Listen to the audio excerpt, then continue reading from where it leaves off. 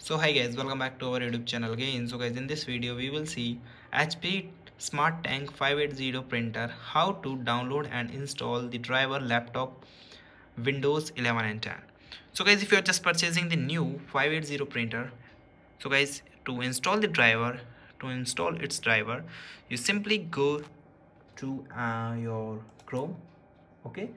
By using the chrome browser we are try to download the uh, drivers of your HP printer. Here you simply search in the uh, search bar 123hp.com okay 123 and simple HP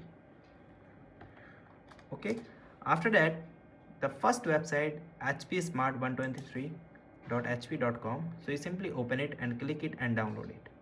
Then guys here enter your model number. So our model number is 580 so you simply entered no need to download uh, no need to enter all full name. So you entered only model number then tab on the option of next.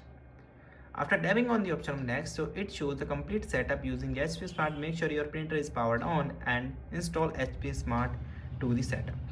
Okay? So you simply install this application and open in the microsoft uh, soft store. So it directly available on the store. So you don't need to download uh, from any website okay?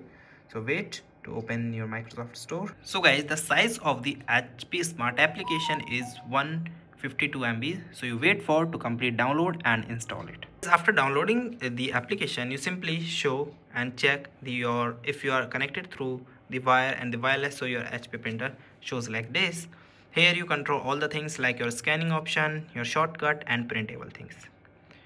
Okay? So guys this is the way you connect your hp printer with your computer pc and desktop. So guys thank you and have a nice day and subscribe our youtube channel for the further informations